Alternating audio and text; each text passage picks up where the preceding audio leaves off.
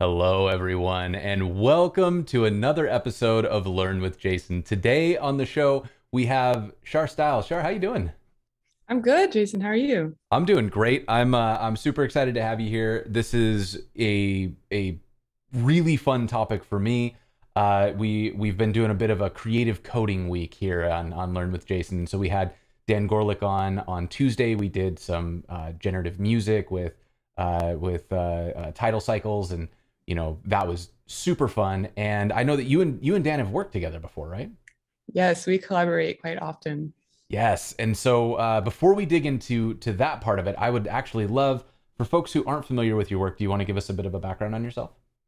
Yes. So i am a live visual uh, live programmer. So I, uh, as a performance, I will write shader code on stage where everyone can see my code. Um, and I create visuals alongside usually algorithmic music, but it can also work with any type of uh, music or any any kind of audience that would appreciates looking at code um, as they see the the one to one correspondence of the code that makes the visuals. Mm-hmm. Um, yeah, and so that's just it's something I love doing, and I love sharing it and I love teaching it. So I'm really excited to be teaching you today, or rather going through it together, because I always end up learn, learning something too. so learning no, together I, today. I, I am so excited because, you know, we, we uh, I've talked about this a lot, but I, I just love this idea of, of code being a creative thing. I think that a lot of times we look at, at programming as being a very practical or pragmatic thing where you have to mm, mm-hmm. it has to serve a purpose it's for business it's for accomplishing goals and and what i think is really interesting about what what you're doing with this kind of you know performance is you're you're taking something that somebody might look at and say well there's no way that that could be art it's just code and you're mm-hmm. clearly making art with it and yes. i think yes. that's so fun so how how did you get into like I, I actually let me ask it a different way Mm-hmm. At what point did the light bulb go on where you realized that code could be an artistic medium? Oh my gosh. Oh Lord. So I was very lucky to have met my mentor Golan Levin early on in in like my uh I guess coding career. So I learned how to code when I was like 17. Um mm. and it was it was from Golan. So it was really like the the first time that I kind of ever was getting into coding was through creative coding gosh, and when did the I wonder it's like when did I realize that code was people thought code wasn't creative? Maybe that's the, the other question. yeah, so because no. the, the first piece of code that I ever wrote was in processing, which is um, a Java library for creating vi- graphics. It's kind of like like its predecessor. Oh. Maybe some people know like turtle based graphics, where you have like a turtle that puts, you know, you tell the turtle where to go and where to put the pencil down and the pencil up, and it kind of creates like a plotter type uh, mm, drawing.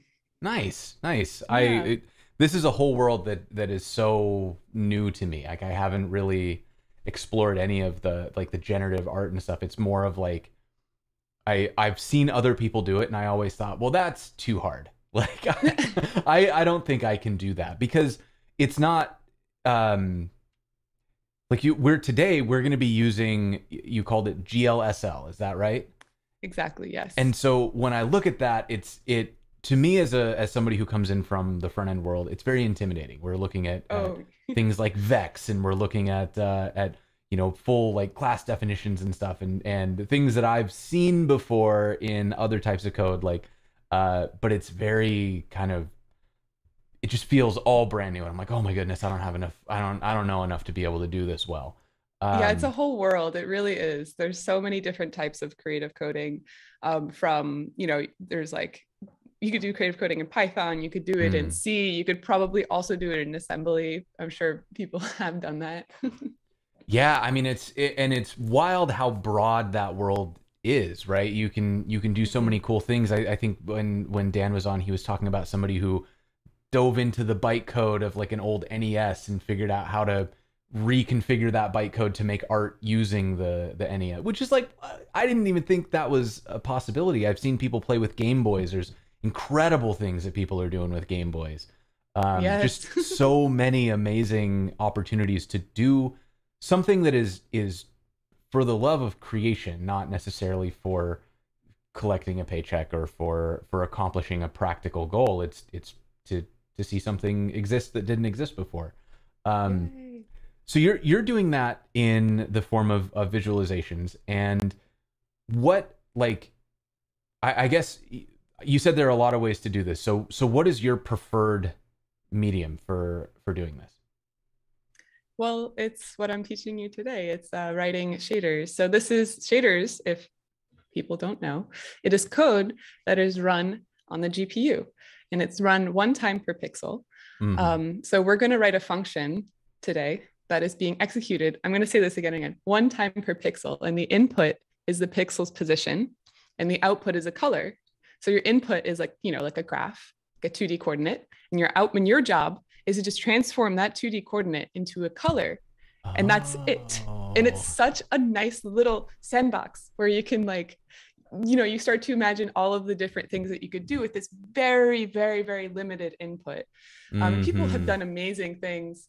Uh, we won't get to it today, but you could, using linear algebra, create a tiny renderer that uh, looks into a 3D scene. You can make an, a video game only input is like the pixels position but then you also you know you can also get like your your mouse position and stuff like that but the the uh, and and and you know you can pass in something called a uniform which is just shared buffer between the gpu and the cpu but it is still very limited like at the base of it it's just an xy position and output is a you know a red channel green channel and a blue channel yeah yeah and and um it's it's and it's amazing because all of this stuff is is both simple and hard all at the same time, right? Like it's it's like mm-hmm. a piano. A piano is incredibly simple because it's just buttons you push, right? There's mm-hmm. not there's nothing particularly complex about how to use a piano, but to make really beautiful things, there's a lot of skill. There can be a lifetime of effort behind using it really well and doing something truly unique. And this feels the same way. Like all we're doing is changing the color of a pixel. Okay, well I get that mm-hmm. fundamentally but the yeah. things that you see people do with it are oh my goodness they're just they're incredible um mm-hmm. so yeah i think it's uh it's it's really really interesting david david uh david is saying pianos are complex i the in the insides of pianos are very complex but for me i'm like oh buttons um but yeah so so i am i'm kind of interested in like as you start looking at this, you're you're talking about um, we're changing one one pixel at a time, and in order to do that, we start getting into what I would consider to be some pretty algorithmic. Like we're we're now looking at like fairly heavy computer sciencey things of of like okay, let's let's take this and then I'm gonna you know do something interesting with it, and we're gonna try to make this look like it's pulsing or whatever, and and trying yes. to make a you know a circle get bigger or smaller when you're doing it one pixel at a time is Mm-hmm. suddenly the math gets interesting. Yes, um, there's so much math, and I love it because it's, it's like, like a lot of times with programming, you don't necessarily like get to do math in the way that you do math when mm. you're shader when you're coding shaders, um, because of this like very limited. It's almost like it's so close to like the hardware. It's so like at a lower level. You kind of mm. you have mm. to start speaking their language, which is eh, yeah, and I think that you know the thing that's interesting about math is that I, I, feel like when I was a kid, I was really resistant to math. I, I, people would show me math, and I would be like, "This is not interesting. Like, it's not useful to do theoretical math longhand oh on a piece of yeah, paper." Yeah, the way right? that people teach it's... math is like, it could be so much more fun.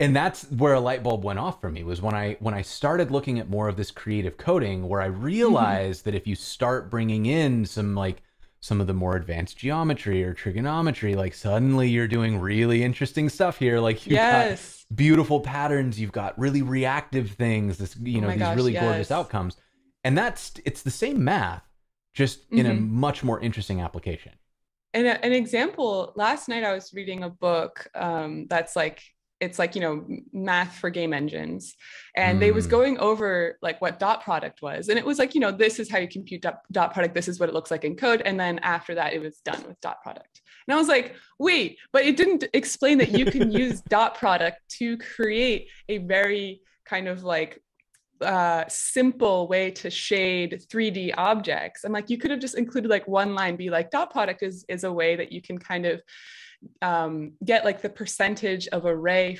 from well the, the difference of a ray's direction from the light direction and then you can color an object based on that like using just the dot product. And i feel like like had i not known that before i would have been Right. like i would have just like forgotten everything about dot product but this like application of dot product i think really like made it like stick to my brain. That i didn't learn from the book i learned it from shader coding You or like you know doing this kind of stuff That's such a good point because by making a topic interesting in in whatever Mhm. way you find things to be interesting is is so important for retaining that information. And and the the I have some anecdotal evidence for this because I didn't like math in high school, but there's one thing that I remember vividly, which is parabolic math. And the reason that I remember that is that to learn parabolic math, I did an extra credit project where I went out and I bought an old TV satellite dish and I covered it in aluminum foil and then I took out the transceiver and uh, and put a nail there and I used it to cook marshmallows. what Right? And it was just like it was this goofy little project. But Oh, now that. I really understand how like why parabolas work the way they do and why satellites are made the way they are and all these things about the math that were practical, right? Um, and it, and it made it interesting and it made it fun and I got to make s'mores for my whole class by taking a satellite dish outside, right? And th- this was this is like the only piece of math that I could do now. None of none of the rest of it stuck. amazing. Oh my gosh i need to see this. I need i want to eat it. I want to eat this marsh this math marshmallow. Yeah and it's and and i think you know this is the same thing. Like when i started learning uh physics for like right now you can see a couple people have dropped the boops and thank you chat for for participating i see a hype train is going thank you for the subs Sumena and uh and overa streams and who else subbed ishan thank you all so much for the sub i really appreciate it but so you can see Wait, here so the, you made the- this this boops Yes, right. And so this is this is physics. Now I'm using a library called Matter.js, so I didn't have to do most of the math longhand. oh i But what it. I what it started to make me understand is things like drag and things like gravity and and how something could bounce or how something could you know like how to how to simulate friction and that was really interesting versus the more theoretical parts of of physics and and the math that goes into it because yes I don't know, calculating gravity. Oh yeah, 9.8 meters per second per second. Okay, I yeah. under I've memorized that, but it doesn't Yeah. mean anything. But when you go outside and you like do the test where uh like the Mythbusters I think did one where they took they like shot a bullet and dropped something at at the same time and like the Mm-hmm. bullet and the the coin hit the ground at the exact same moment because gravity still works even if you're moving sideways. What? Like that okay, now I get the gra- now I get the math. yeah yeah oh it's so cool there's so there's so there's so this is just like a so, a world that opens when you realize that math isn't just like practice problems Yes. Oh my goodness. Yeah, so many amazing things when when and and like, you know, math is shorthand to describe the world around us. Uh Mhm. and and I think we've abstracted it so far away that it just feels like a list of chores and not not a description of the world around us. oh, Um, so true Oh, yeah, jeez. I know I miss Mythbusters too. Did, were you a Mythbusters fan? I was, and Mythbusters actually has this great example of how shaders work, where they loaded a, so they they, they showed how the CPU works, which is they had a paintball gun, that's kind of like you know one at a time, uh, paint a picture just by shooting the the paint, you know, made a smiley Oh. face, and then they were like, okay, this is how GPU works, and then they had like an array of like, you know. I'd say hundreds of, of like paintball guns in like one go, and then they just shot it all at once, and it was just like Mona Lisa. I, I ruin I ruin the suspense if anyone's going to go look at it, but that's I use that when I teach uh, my course. I use that GIF to like illustrate the difference between like, okay, this is how you make something uh, image with the CPU. You have to do it one time, you know, sequentially, as opposed to the GPU where it happens all at once. Oh, interesting. Yeah, And that's and this this feels like something that's relatively new GPUs. I, and and the ability to like do this heavy Mhm. Yeah, graphics to program processing your in the browser. yeah like the to program your gpu the first time you're able to do that was with i think renderman which pixar came out so before that gpus were not programmable and pixar came out with renderman which allowed you to write like a pixel shader um, in 2006 so it's you know little less than 20 years old Mm-hmm. Yeah, that's And- it's yeah. so cool. So so so Yeah. cool. Um Yeah.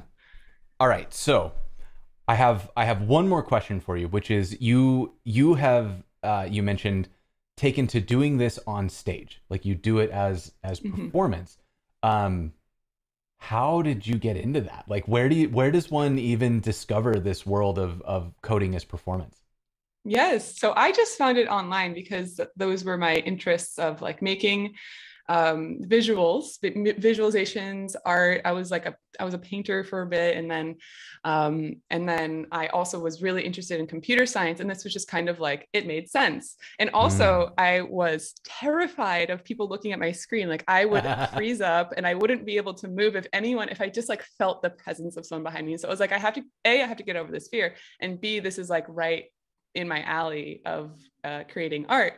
And so I just was like found it online by Googling. I was in Pittsburgh at the time. And then I just started deciding to call myself a live coder. And then the kind of the community like was, was like, what? Who like who are you? Because it's like such like a niche thing. Like yeah everyone kind of knows each other. And so then they they kind of like welcomed me in. Um, and now I'm a part of, and now I'm in Brooklyn. I'm a part of Live Code uh, NYC collective here, and uh, that's how I got into it. It was just like through the the community kind of welcoming me with my weird niche interest of both uh, like com- computation and art. I I find that so freaking cool that you you started because the thing that you started terrified you. Oh my gosh, Um, yeah, that happened. That's I- a theme in my life. I love that. I love that as a you know I, I know that this doesn't work for everybody, but it's it's something that I've I've kind of adopted as well, which is like when I'm uncomfortable, I have to move toward it. I'm like, okay, so clearly there's some there's something that I need to do that's going to help me grow here, and uh, and I love I love seeing people just kind of say, all right, this makes me super nervous. yep, Here we go, let's do it. let's do more of it. Yeah. uh, and, and I, I love it too because it's it's so interesting to you know I, this is a whole world that I didn't realize existed. I didn't realize it could exist. Um, and I come Well, from welcome. I and I'm so excited because I come from a world of live performance. I was a, a musician. I was I toured for a long time. I you know there was a, a few years where I played like 200 shows a year around the Western U.S.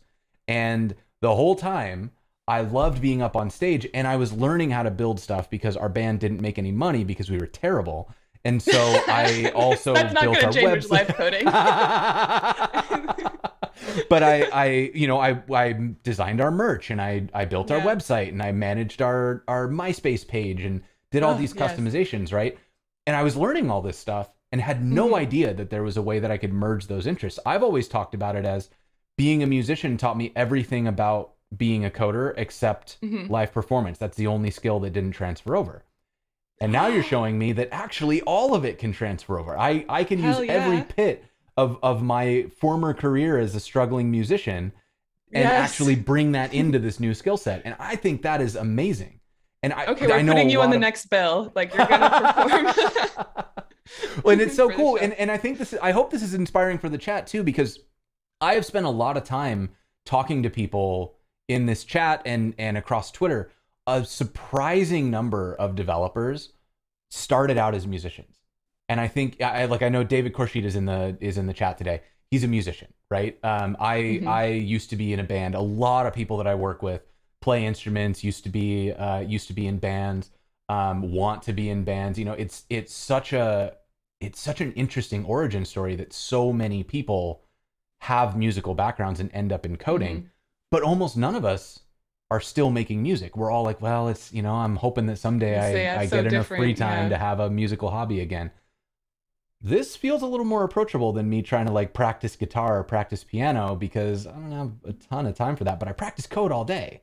Like I can step into algorithmic music because I know it, you know. Anyways, this is very exciting. It's very, uh, yeah, Yeah. yeah. Mignista is saying it, it- also a, a former, a former musician, and and Wingmat is saying the only one at your company who doesn't play guitar. That's it's a sign. it's time. You gotta. You you can tell you what. You can start like I did and learn Wonderwall. oh, nice.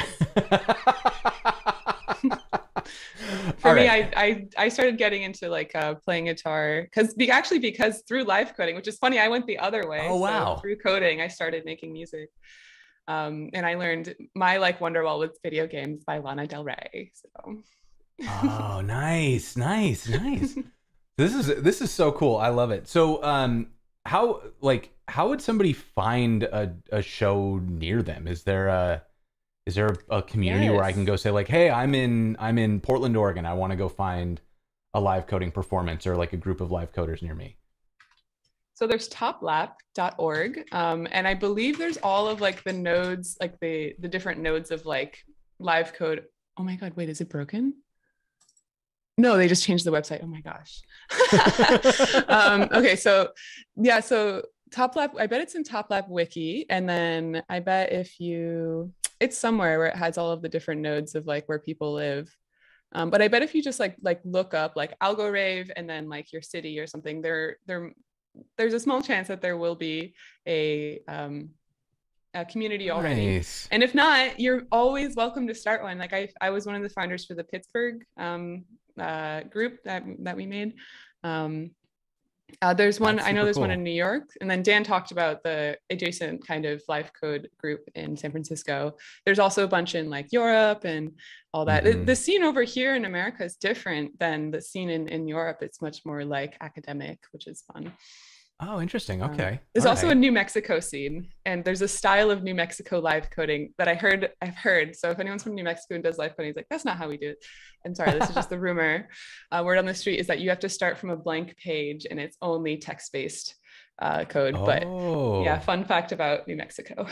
nice, nice. I love Yeah. that. That's super fun. yeah, that's Um, it's like intense. all right. So, what do you think? Should we should we start actually looking at this? I am dying to to see how this all works. So, let's switch over and get into Mm-hmm. uh, pair programming view here. And while we're doing that, I'm going to do a quick shout out to our our uh, live captioning today. We've got Ashley with us from White Coat Captioning, taking all this stuff down. You can see those captions on the homepage of the site.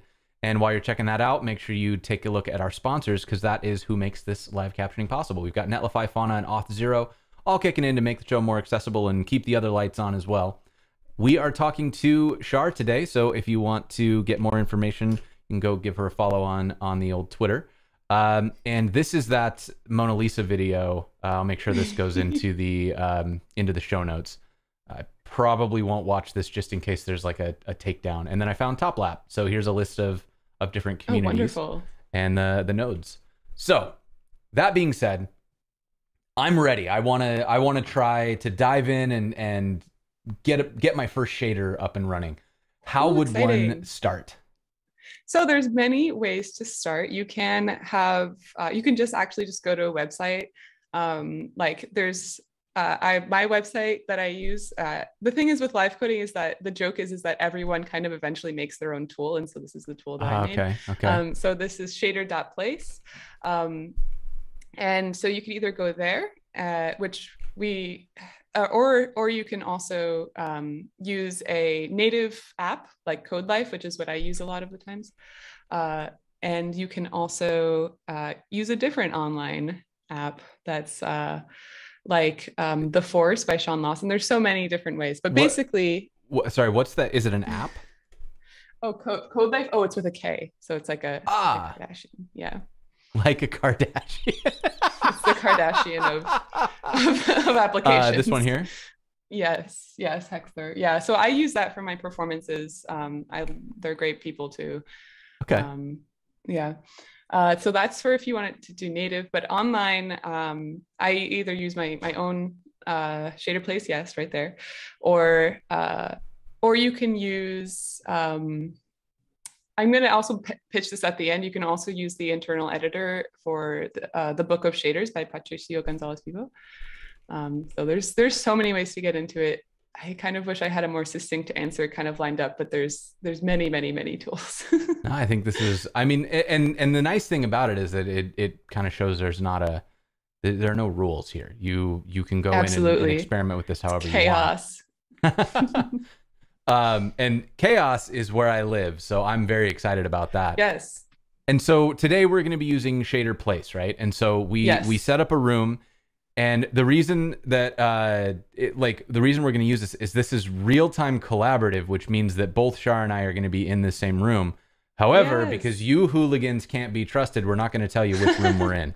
So we set one up ahead of time. and so you can see me up here. So like if you look at my mouse underneath the uniform, I'm just gonna write like, Yes. "Hi, this is Char." You So that's where- where my mouse you- is. You dirty hackers. Um, That's right. um, and yeah, and so this is like a way that I um, I started teaching shaders over the pandemic virtually, and instead of like I would always like be uh, doing it through Zoom, and the refresh rate on Zoom is just like it just wasn't fun, it wasn't smooth, and the students were kind of like Mhm.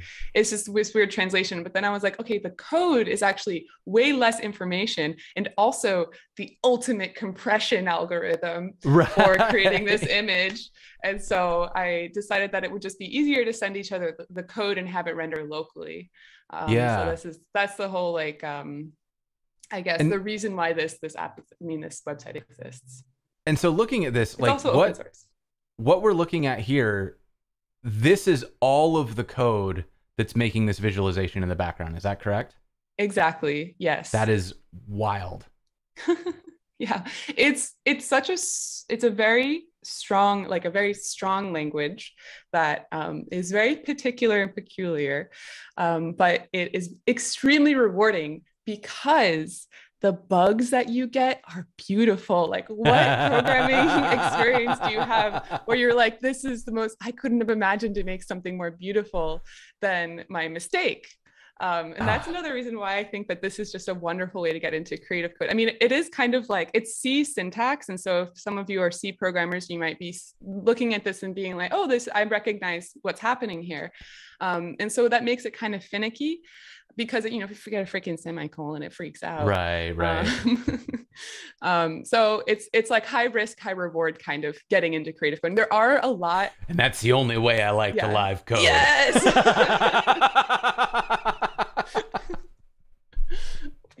Okay, great.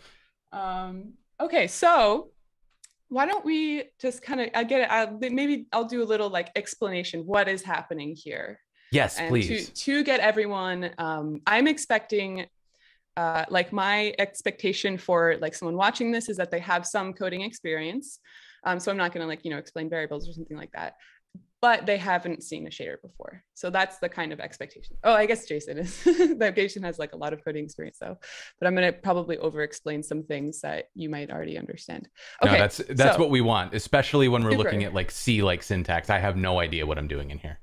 It's super wonderful. I love that because that means that um, you know you have like a blank blank slate for this, and we're gonna have see beautiful things happen. Um, head head great. empty, only vibes. Yes, all about that life. So, okay, so you're probably wondering what these variables are doing up here. So you see where I just highlighted it, line six, seven, eight. Um, these are the shared memory between the CPU and the GPU. So these are things that the CPU can um, see, and it tells the GPU, this is the resolution of your screen. This is a um, a variable that is increasing that we're calling time. So time is uh, something that uh, is a number that is just ever increasing, um, you know, plus Mhm. plus on the CPU. Um, also, this, this volume variable is uh, we already um, got our volume in, so it's like taking in our microphone. So we have a basically a number that goes from zero to one, corresponding to the volume of the input of, of us. Um, and so that's that's what this is. And uniform is basically that's what is telling the shader program that this is a shared piece of uh, of um, memory. So Gotcha. um, gotcha. Yeah. So that's so you don't have to, we're not going to change any of this. I just wanted to like tell everyone. And what this uh, does up here, uh, line three, if you're just wondering, this basically just sets the precision of a float. Um, you don't need to worry about it. We're not going to change it.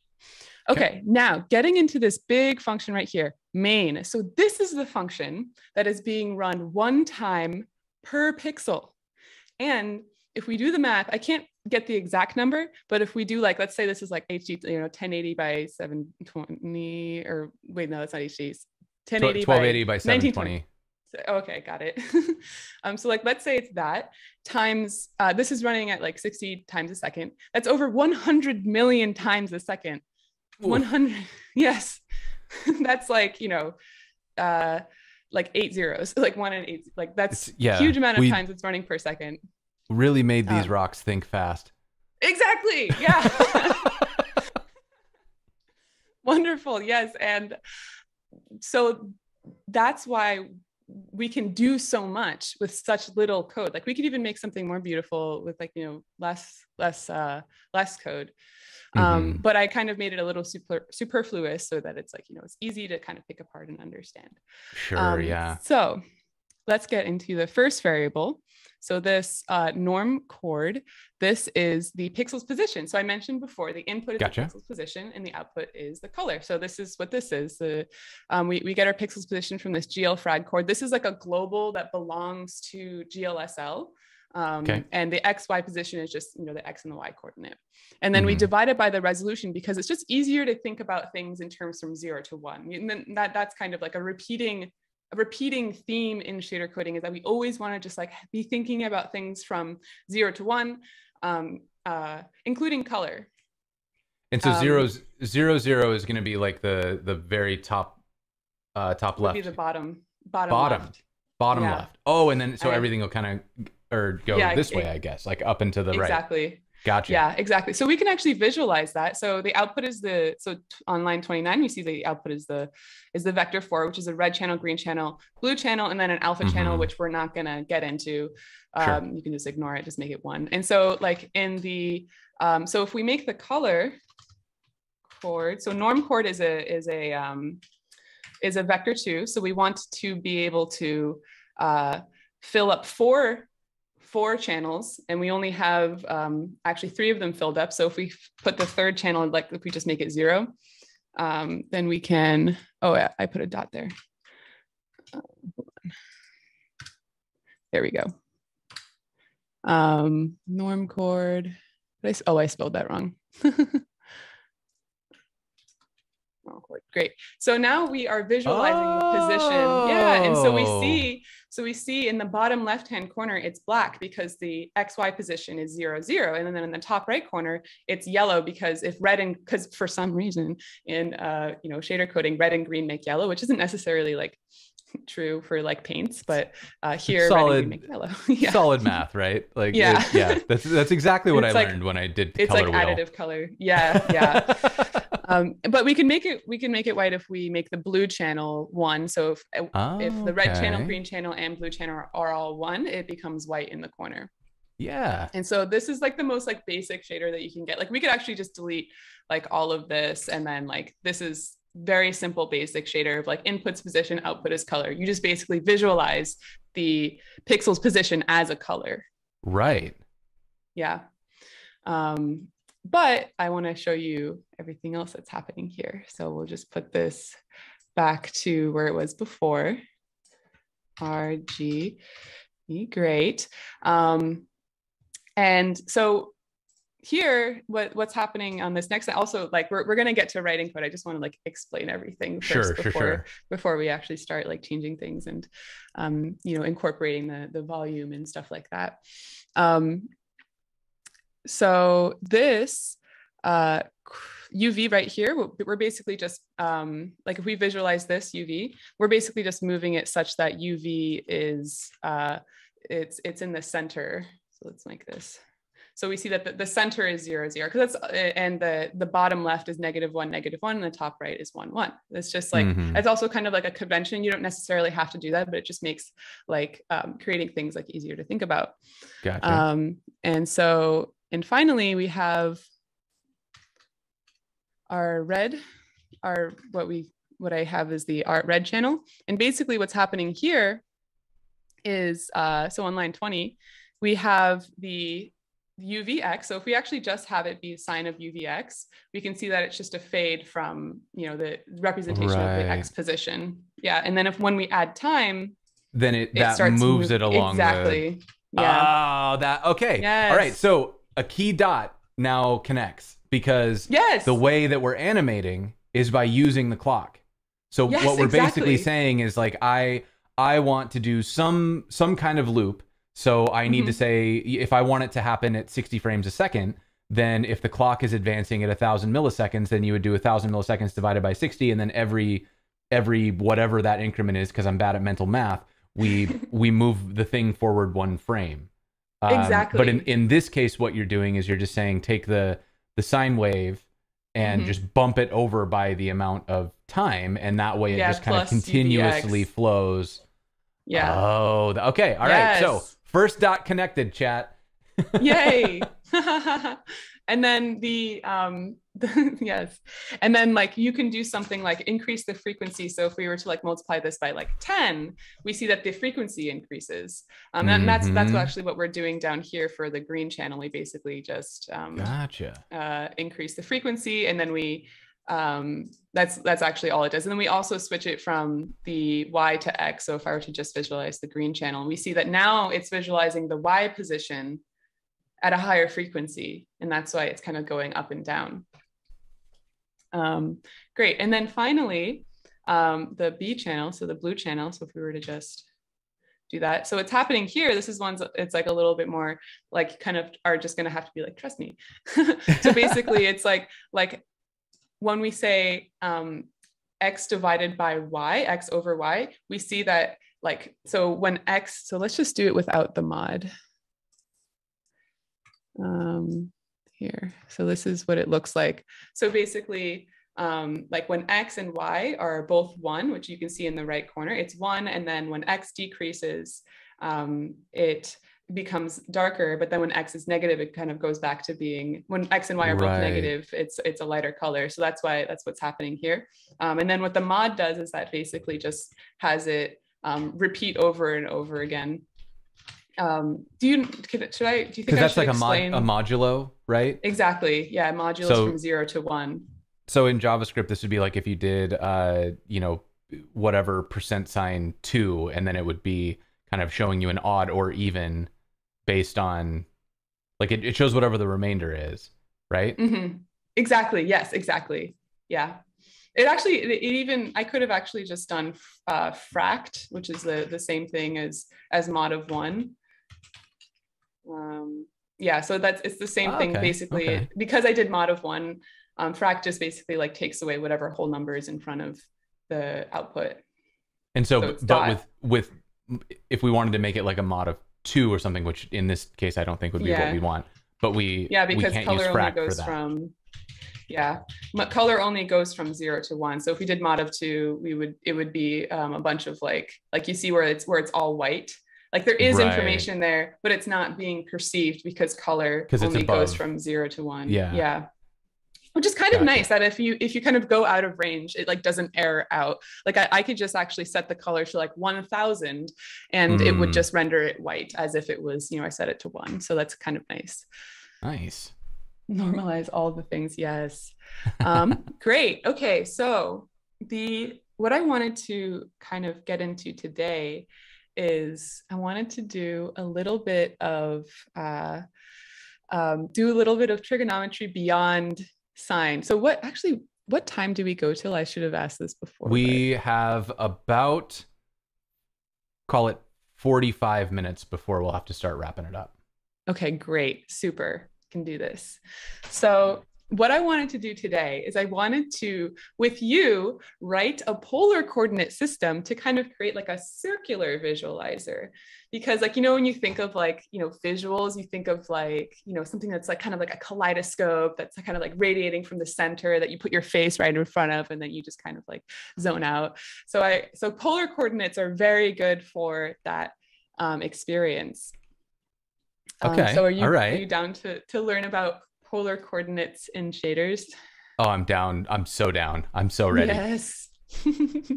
I'm so excited. I love this because it, it uses ATAN and I and like the last time I used ATAN was like in high school.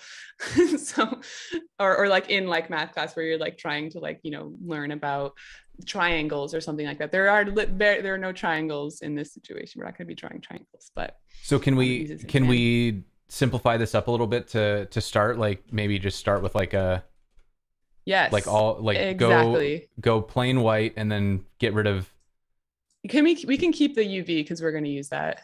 keep the UV. So I'll get rid of Yeah, our so we'll RGB delete- channels. Got it. exactly. Yes. Okay, so I'm Um, gonna get rid of those. Super. Right. Okay, so now um, what what we want to do um, is hold on. Let me just set something up really quick on my end. Um, uh, maybe this one. Okay, so what we want to do first is is to get like um, is to start visualizing um, things in terms of, of polar coordinates. And so what polar coordinates mm-hmm. are is a angle and a radius. So okay. um, so you can access any point on a screen by just giving a angle, like a, where it is around the screen, and a distance from the center. So the same way that you can access any pixel given like a Cartesian coordinate xy, you can also use polar coordinates to access any pixel on the screen. And it's very okay. easy to convert from Cartesian, which is what we have right now, to polar coordinates. Um, so first, to, there is a function that is kind of built into GLSL to get the length of, a, of any pixel to a zero zero point, and it's just called length. So okay. Uh, if we were to set up a float variable, so if you write float, and then let's call this, um, uh, let's call it radius, radius equals, and then length of UV, of UV, and then we got our semicolon. And then if we just put that into color, you can just, in, in color in the vec4, you can just write, um, like yeah, you could, you could, of them or? You could put it as one of them or all of them, um, because uh, because oh, like if you do it like that. Yeah, that's that's shorthand for filling out all four uh, channels with the same thing. Gotcha. Um, so now we have visualized the the, the radius of, yeah. of where the pixel is in the screen. Um, and if you wanted to do something like interesting to have it kind of be like fading outwards, you could put it like the kind of like canonical way of bringing uh, of, of animating it is obviously like adding time, but then time is ever increasing. And so we need to like kind of bring it back down from zero to one. Um, so we can put it inside of like a sine wave or a cosine wave. Okay. Um, and so if so I, I, want. So in line 23, uh, well, actually we can make a, a, new variable. We can say on line 24, we can say um, like float, uh, let's say like rings. Okay float, float rings. rings equals um, sine of time plus radius. And then if we visualize, we put every, unfortunately, I only, we, there are only, um, there are only uh, round boys in GLSL. So only round boys. Only oh, round well. boys. There's no variant, unfortunately. um, All right. So, I yeah, guess we can live with that. I know, and sadly, I was looking forward to being like, and then you put like square boys and round boys, but alas, that is not happening today. Um, so uh, if we wanted to like increase the frequency, make it look more like rings, um, what we could do is that we could just um, inside of radius uh, length of UV, if we multiply it, then it'll oscillate through uh, UV, you, you have to put like a dot because it's a float because it's C syntax. Ah, got it. Okay. yeah. So now we have our, our beautiful rings kind of coming out.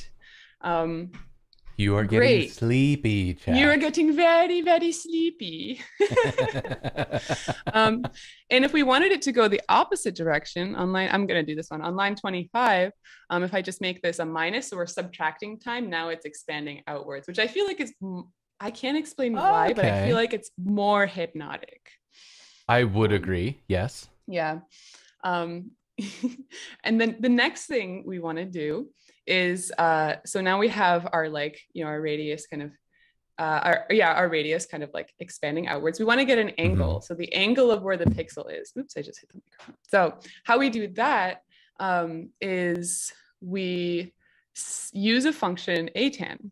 So okay for all of like the i can only relate to american school system. So if you were not an american school system i'm sorry if you can't relate to this but does anyone remember sohcahtoa yeah. Yes. Yes yeah so yes. so we're good so sohcahtoa so basically toa right? So that's uh we we want to use the um to to get an angle right? Because tan tan of something like or uh, tan of an angle gets you the TOA, the opposite over the adjacent. So if we only have the opposite over the adjacent and we want to get the angle, okay. then we're going to use atan. So the reason why I keep saying opposite over adjacent, because if you were to think about um, like the an XY coordinate on a screen, like you have your right over run, that kind of looks like the two legs of a, of a triangle, right? The, the, the two, um, not the, yeah the opposite over the adjacent of the triangle. And then the hypotenuse is the distance from the center, right?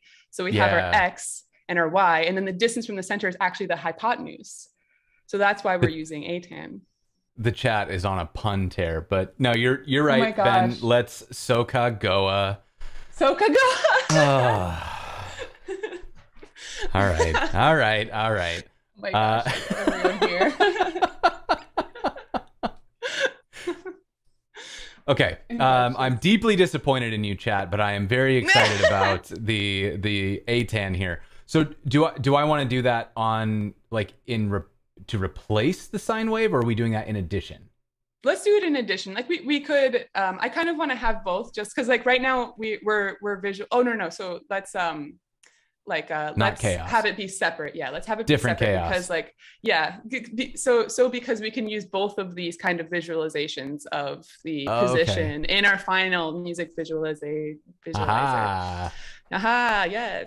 So let's we could do it above or below, um, whichever one you prefer. It, it is executed in order, and so sometimes you you do have to think about like, um, you know, your Execution order and all that. exactly yes. But this because nothing is being modified in place, we don't have to think about it. Okay, so float we can say like float angle um, equals a tan, and then you want the opposite over adjacent. And so let's do UVX comma UVY. And so this is actually, if there's anyone here who has a who has like eagle eyes, might like, and then and then if we visualize it, so in Vec.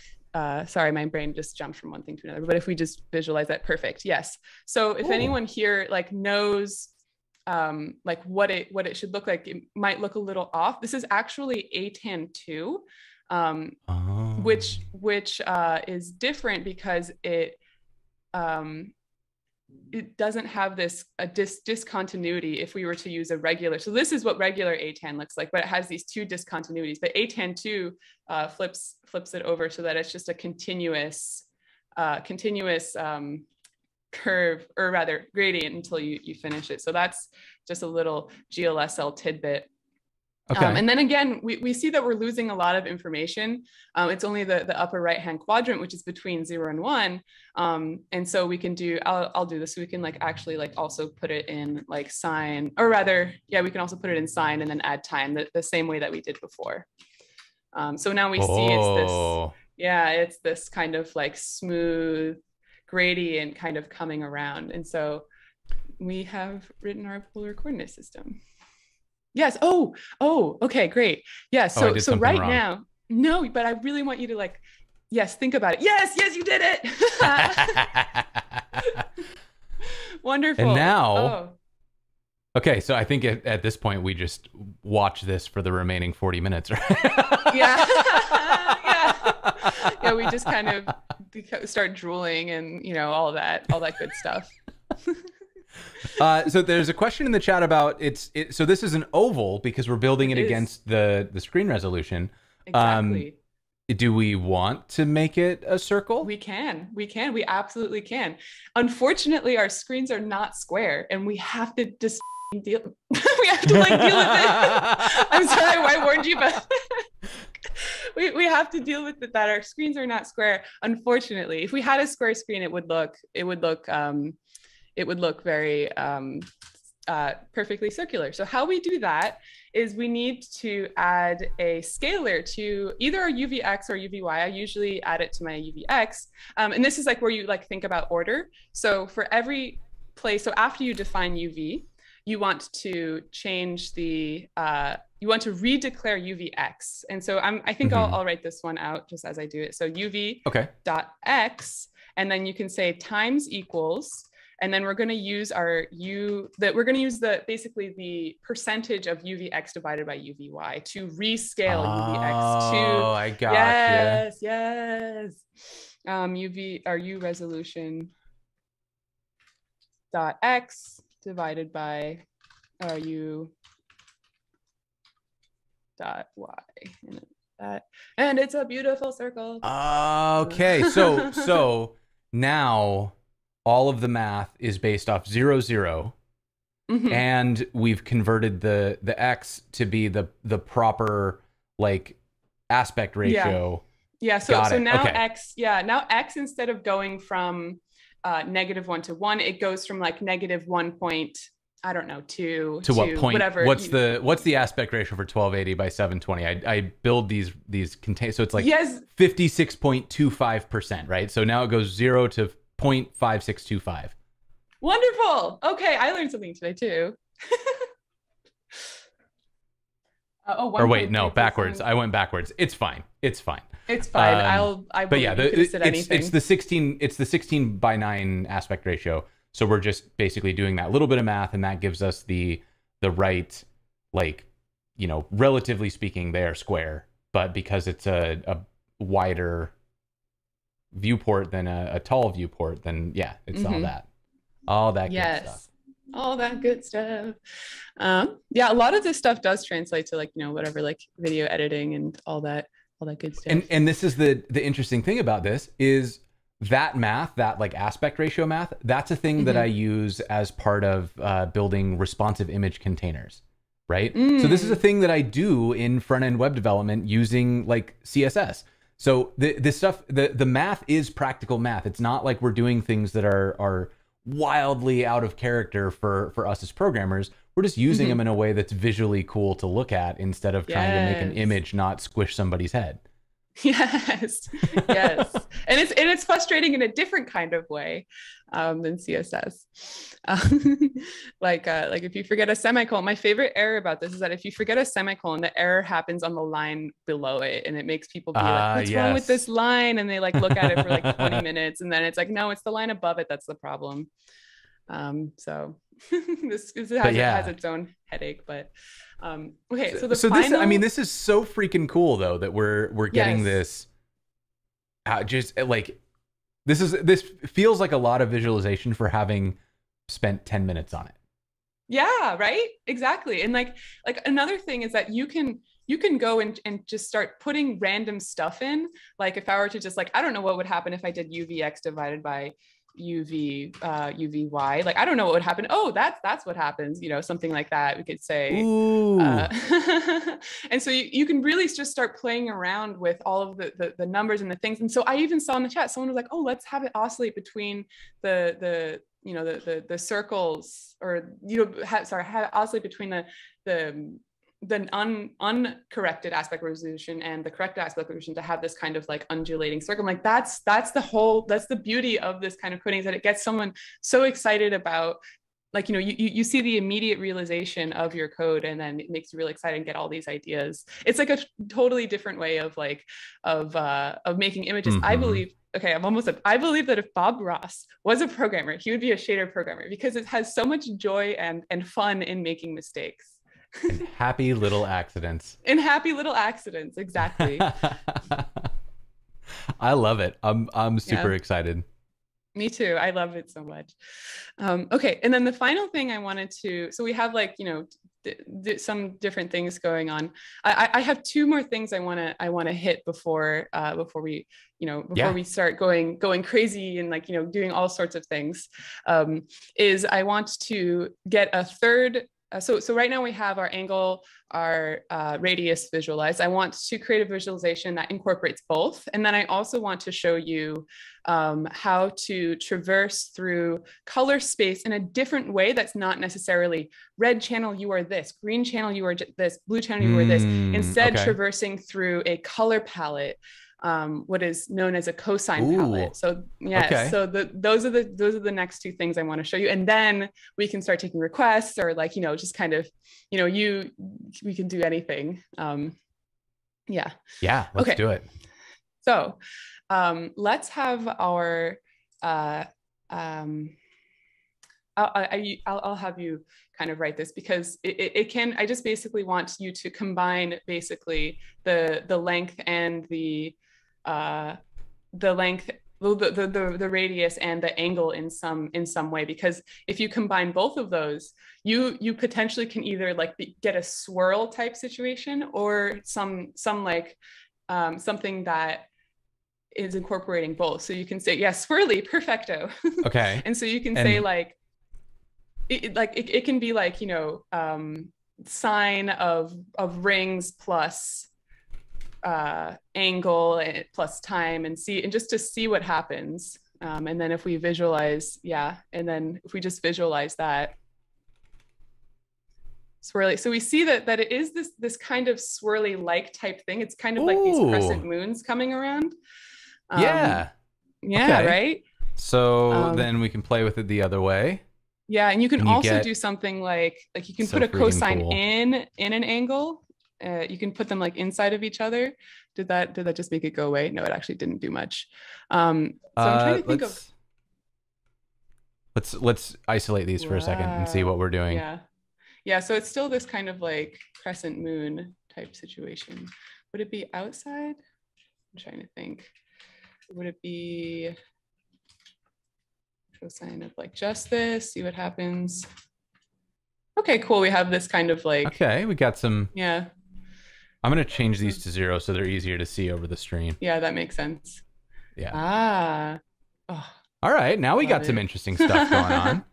yeah, and so basically like what's happening here is that we're incorporating both like the the angle um, like as it goes around and the uh, distance as it kind of comes out. And so that's why we're getting features that are influenced by the position of its angle and its uh, distance to the center. They look like ripples. Yes. Visually exploring math. Exactly. I mean, these, yeah, I these so, comments. So wild that we can do this stuff. And then, you know, if I want to make it, okay, let's have it go a different way, right? We can, mm-hmm. we can start messing with it a little bit this way. And now it's, now it's weirder and then like this is yeah, just and this like, is very very interesting like what happens if we divide it oh nothing really who knows yeah um okay great so now we have like a combo of both the the next thing i'm going to do is um, i'm going to copy and paste in a function called a cosine palette um, just okay. because like we we we could write it out but um like I feel like um, it's it's a little easier to. There we go.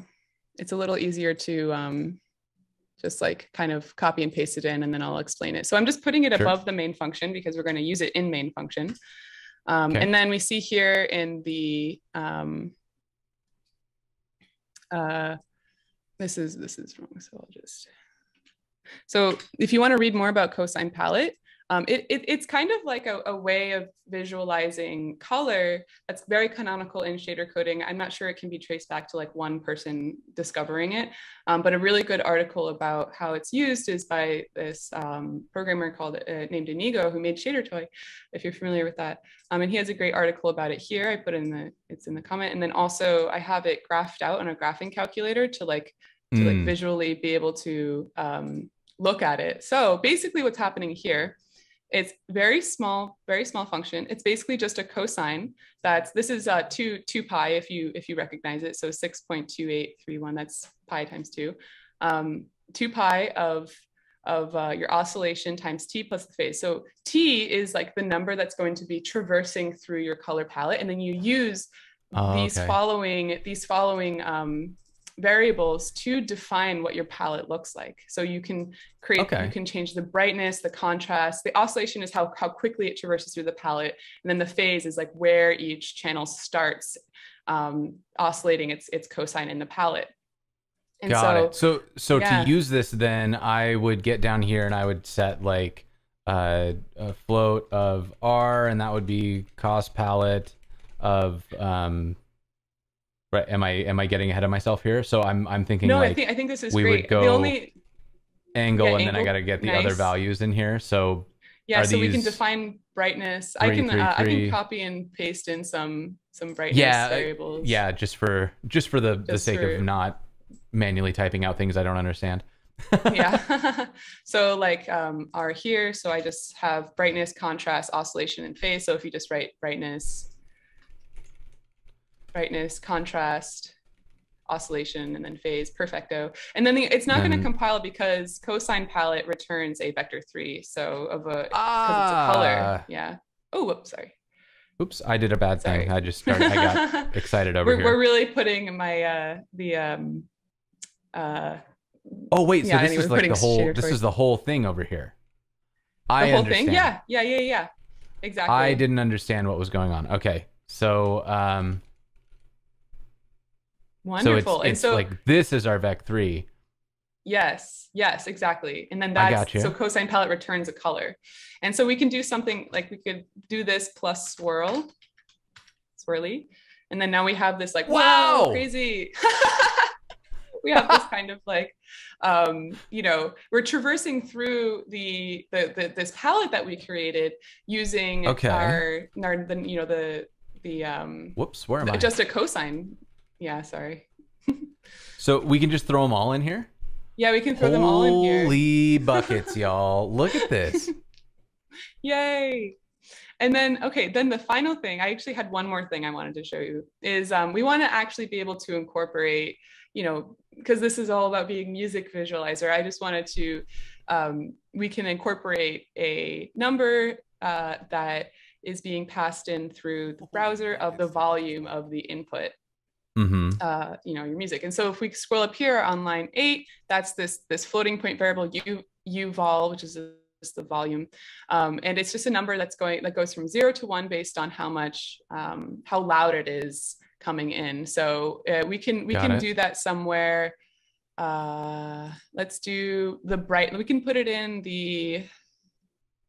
What would be a What if good we- place? I I think. Could we do it in like the rings instead of the time, so that the rings like Yes.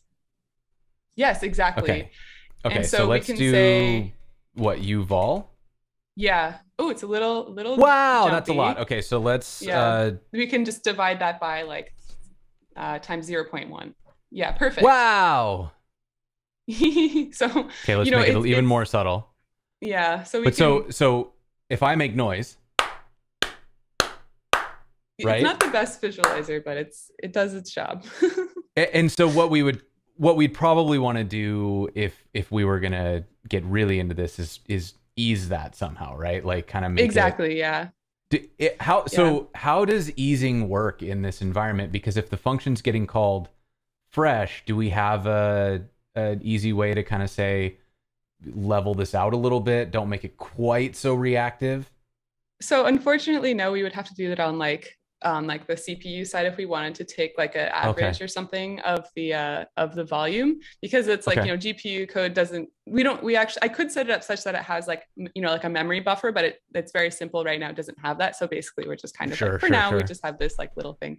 Um another like yeah so basically it has to happen on like the JavaScript side unfortunately but it shader place is open source so I'm taking pull requests. Um um, so that's it's so something I'm, I want to work on next too, um, because I just added this this morning for for for this stream, which I'm happy it, it like you know I'm happy it's functioning, which is why I look ecstatic for this like the fact that our music visualizer is just jiggling ever so slightly. No, I love. I mean, it's so fun that we're we're getting that kind of reactivity to Yeah. you know it's it's only hooked up to my laptop mic right now, so it's not this mic input. It's the laptop input, which is why only my voice is causing it. Or you know, if I mhm. get over here and snap at it a little bit, we can hear the or we can see it happen. But um, this is so freaking cool that we now have. Th- this is not just a piece of art anymore. This is now an interactive thing Yes. And what's- yes. what's incredible about this is that volume's not the only input we can get, right? Like I imagine we can no. also pull in things like uh, can we can we get data from the camera, for example, or data from yes, you know other other inputs? Jason, I think you might be a creative coder.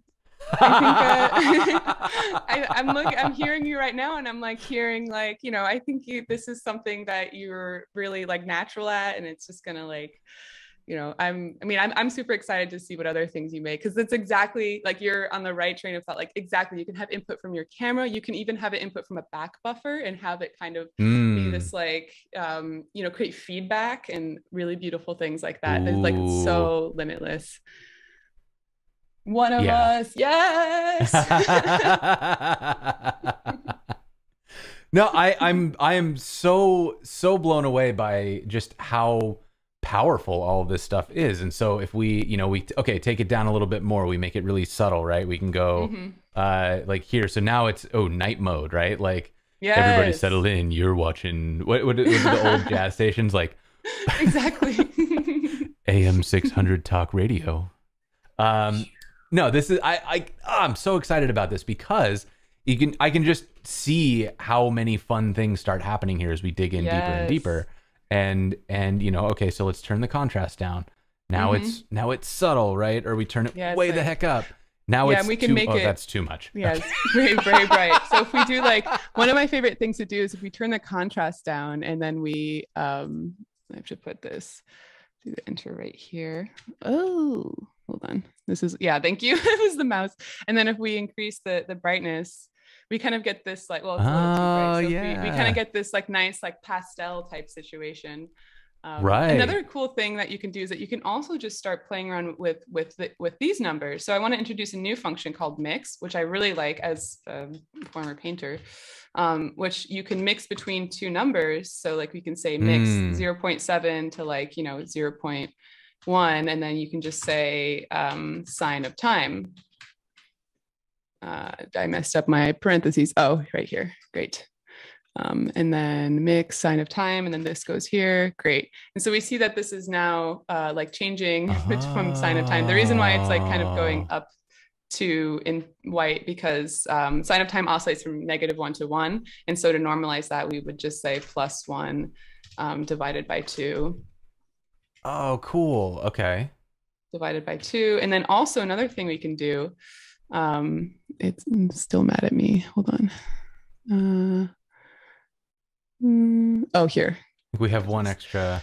Oh, that was my fault. I started touching no worries. that's the that, that's the one thing about the shader place. Um, and then we can also do something like um, UV or li- plus length of UV UV here, and then we can have it kind of come in and out from the center.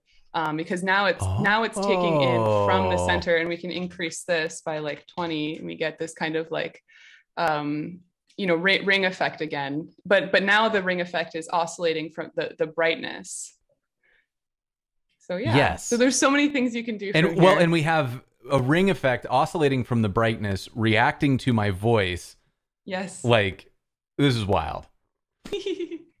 yes i i love it and yeah it just becomes completely impossible how much i mean impossible to like you know to stop which is why i'm still i still do it all the time today I, I stay up way too late doing this kind of these kinds of things um yeah. how do you know how much time we have left i We keep have forgetting. call it call it like 10 maybe 15 minutes to to go.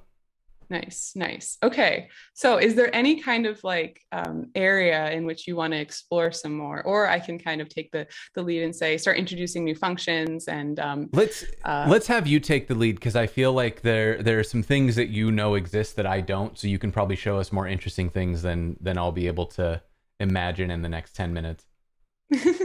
Great. Okay. So, one thing that I can show. Oh, okay. So, one thing that I, I really like is this uh, function called uh, mod polar. And so, again, like I know we, we already converted it to polar coordinates, but we can also like re- reflect. Well, should I do that? Hold on. Do I want to do that one or do I want to do? Oh, okay. So we can either do like a figure, I can introduce a function that gives you kaleidoscope, or I can introduce a function that um, you can use to get like a BPM, or rather that that uh, spikes at a certain BPM. So you can kind of like Mm. ha- have a variable, like you can set the BPM to this this function that will return a number that spikes at zero or at at like a beat. Yes. Yes. Okay. yes to both. Uh, no, let's do the Um, beat. Let's let's do a beat. that sounds great. like fun. Beat. Okay, so I'm going to copy and paste this function in. Um, and it's going to be, uh, let's, I'm putting it right below cosine palette. Um, Okay. And I have to replace 3.14. Um, and it's still, oh, U time. Great. Okay, I had to convert it a little bit. But this get BPM function, so it takes in a beats per minute and then Mhm. um, it returns a floating point number. And this number will just spike that many times per minute. Um, so Nice, it's okay. it's it'll be really easy to use. So we can just figure out like where where to put it. So like let's say we wanted the ooh, let's have the phase. have the- Yeah. Hmm, okay. All right. Let's do Actually, it. let's let's have what would what would be cool. Oh, let's have it actually.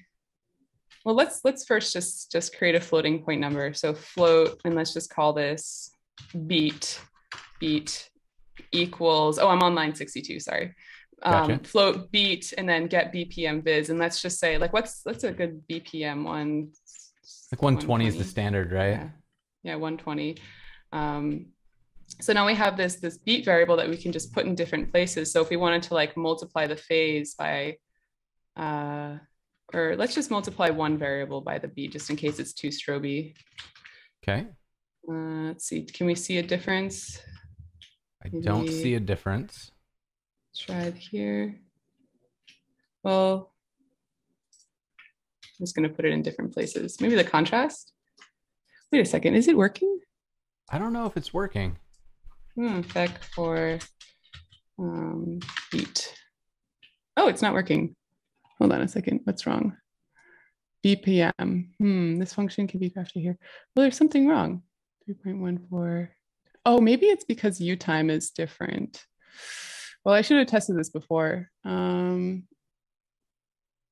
sadly, this is uh, also another thing about like GLSL is that it's like it's very um, like because it's a it's a very like globally kind of used language like you could use it in all these different situations Tran- transferring like functions from one place to another can sometimes Sure. like I, I usually use uh, the force which is where i wrote this function but it doesn't happen. Okay doesn't matter. Bpm this is eventually I, get, I can get it to work and then we'll maybe if we have time in the end. But um, i'll show you instead the other thing i was going to show you which is uh, the kaleidoscope effect which is always really Mhm. fun um, so we can just set this to color again. Color, beautiful. Okay, so the the other um, uh, function I want to show you is this mod polar function. Yes. Uh, and so this one, I'm gonna paste up above again. Uh, also, I I have like, um, I should probably paste the link, but I have this like gist of what I call sticker sheets, which is basically just like functions that you can kind of copy and paste in, and then Oh, nice. it will, yeah. Uh, oh, oh, I used, hold on. We can do this actually. Um, this is my own modified version of mod polar. Uh, we can define pi up here. Pi 3.14.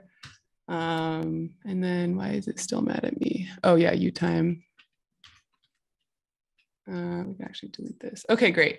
So now this function, what it's going to do is it's going to modify the UV vertices such that it Mhm. repeats in the in like a pie slice going around the center.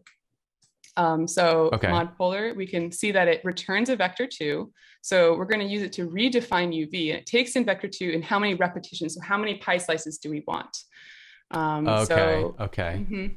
So we're going to go before, like after we, um, after we normalize, or rather after we fix UV's resolution, we want to change UV before we use it for anything else. So on line 57, um, we can say UV equals M mod polar, UV, and like, let's say, like, let's just do four to begin with. Um, mod polar, did I spell this wrong? Mod polar, vec2, float repetitions. Uh, oh, because this has to be point. Okay, great. And so now we see that it's like it's like repeating um, Right. in in these four directions. So if we wanted it to be like uh, let's say like eight, you can see that it's repeating in eight slices, Gotcha. and we can say like ten, and then we can also have this be a number times sine of time, and we see that it's increasing and decreasing. Yes. Yes. Ooh. Wow.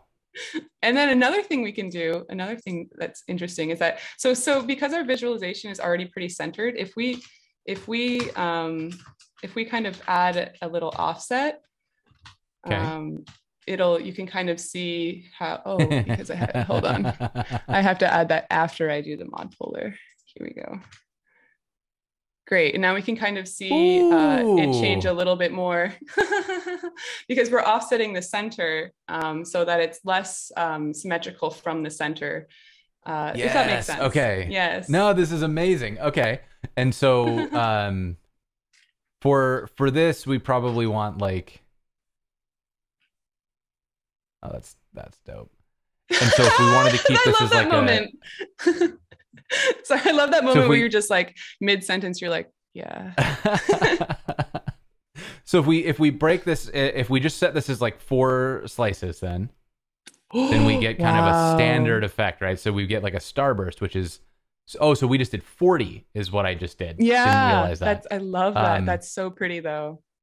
Oh, yeah, so now we get like a cool starburst kind of flower looking thing. Yeah, it looks like and, a marble effect.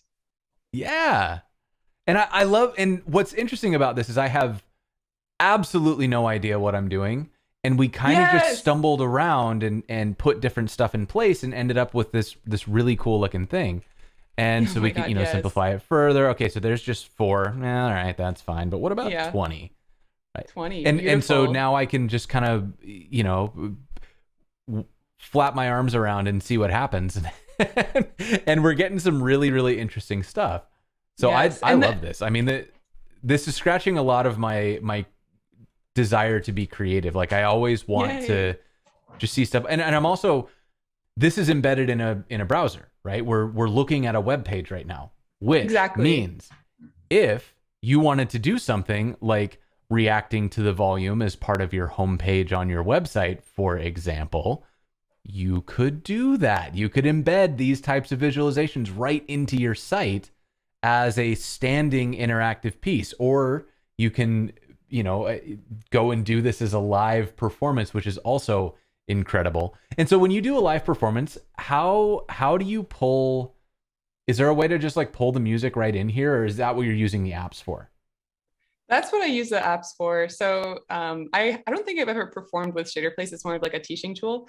The tool that I perform with, which is KodeLife, um, will actually break up the um, music the the input wave of the music into it'll do fast Fourier transform and do the give me the different bins so i can um i can give get a range of like you know oh this sound is within this range and then i'll just have that be linked to some sort of variable yeah and so when when you're using something like KodeLife, you can you can even get frequency ranges and and say like yes. well this i'm going to isolate the kick drum and then this exactly. is going to be the the value for the okay all right. Yeah. Things are clicking into place. Okay. yes.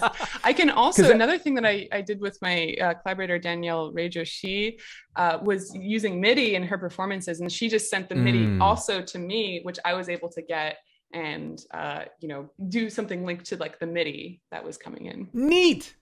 Yeah. okay. All right. Okay. You got me hooked. This is hell yeah. I I need to come up with the DJ name now because this is clearly gonna happen. yes. um, no, I love. I'm I'm so so excited about this. Like this this feels like the sort of thing. You know, we we did this in the span of of an hour.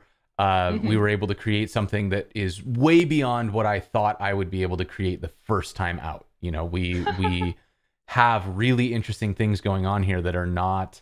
Um, you know what what we're doing here is not like mind blowing ninja level math. This right. is this is very much high like, school like trigonometry. Yeah, and this is this is stuff that makes sense to me, right? And and I don't need to know how to calculate sine. I just need to know kind of what it's going to do when I call mm-hmm. this function.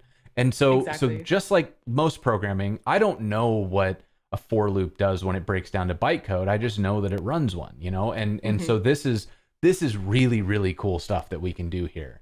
Um, Yay chat who's trying this who's going to get out there and, and and do one of these like get into ShaderPlace right now has anybody been doing this along with us anybody anybody coding along um, and while people are, are taking time to think um, i will share ShaderPlace here for for folks who want to give it a try where else and this is KodeLife. this is the one that you you're able to pipe like music frequencies or get midi into yes yeah this is like your more okay. professional performance tool Love it. Okay. Yeah. is there? Um, you mentioned earlier the Book of Shaders. So Yes. this is oh to read it. A gentle step-by-step guide through the abstract and complex universe of fragment shaders. Um, very, very, very cool. yes. A shader space controlled by a Twitch chat. You beautiful monsters. Yes, I. Uh, yeah, we probably should do that. That would be really fun. There, What, there is uh, a so- Twitch. Oh no, Oh, so- there is so- a Twitch. What now? There is a Twitch, yes. So, so I, I I taught a class. I was teaching classes on like how to do this over the pandemic, and two of my students met at my class, and they started a Twitch stream called Curiously Minded, where they just will sit Oh, together okay. and code shaders. Um, and I'm a huge fan of them. It's Alithia and Eliza are my wonderful. I'm so happy that they came to my class. Um, yeah, that's them. Um, and I they bring different people who code shaders differently because like you know i have a certain style of coding shaders um, and so it's interesting to see different folks approaches to coding shaders um, yeah Wow, these are beautiful too. I know. I'm assuming these are like screenshots exactly of shaders they made. yeah So Yes. freaking cool. Love it. Okay. Um, for somebody who wants to get started, uh, we we have shader.place to just try things out and see how it goes. Code Mhm. Life if you want to get serious. Book of Shaders to get some of the the academics. Anywhere else that somebody should go look if they want to take some next steps here? Yes. Um, so to get inspiration and also possibly be intimidated, you can go to Shadertoy. Um, I think it's shadertoy.com. And that's basically so what we're writing right now is a fragment shader. These are all of these are all fragment shaders. I know, I know. It's like it's so intimidating. And not only is it intimidating, they also write the code such that it's all optimized. And so it's not really meant to be super human readable. It's more for Oh, okay. optimization. And so this is like the place where if you want to get inspired slash extremely intimidated. um, but to like good. to good. see yeah Shadertoy perfect yes just to see the limitations of like what's possible like people have like written a linux kernel in a shader and like also made like a oh dang. like yeah like they've done like machine learning in like a shader like you know the most like ridiculous things because like technically Ah! it's turing complete and so you know yeah um Okay, and all right. I get what you mean about being intimidated. Holy crap. I know. Yeah. I I do have a I do teach so this is using a technique called ray marching which basically using linear algebra allows you to create a 3D write a small renderer that you know it can be like 100 lines of code in GLSL to then create a 3D scene only using the 2D coordinates input. It's amazing. Oh, that's so cool. It's so cool. I just, yeah. Yeah. just just incredible stuff. Um, absolutely beautiful. What's going on here? So, Yes. all right. Uh, anywhere else that you want people to look at? I think I think that I don't want to overload people, but I think that, that that's a good starting place is to like um, you know get into the community. It's like you know sh- uh, curiously minded, and then also Book of Shaders is a great way to do it on the uh, you know kind of asynchronously at your own pace. And then, it, it- in terms of community directly, we've got uh, Top Mhm. Lap you mentioned, and then Mhm. I that's think for you like said a live couple other coding spots where.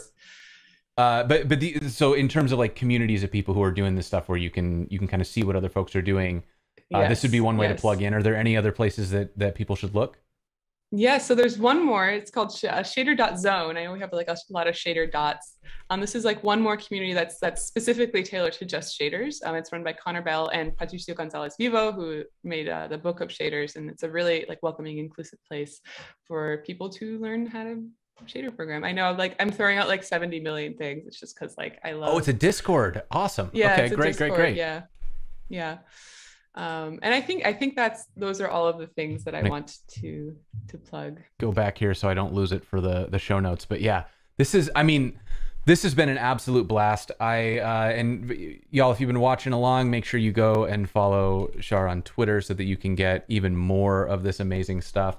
Um, and on your website, I assume you have some links to things if people want to see what you've been working on. Yes, exactly. Um, Yeah. It's mostly on like my Twitter and Instagram and stuff. It's my website's a little unupdated.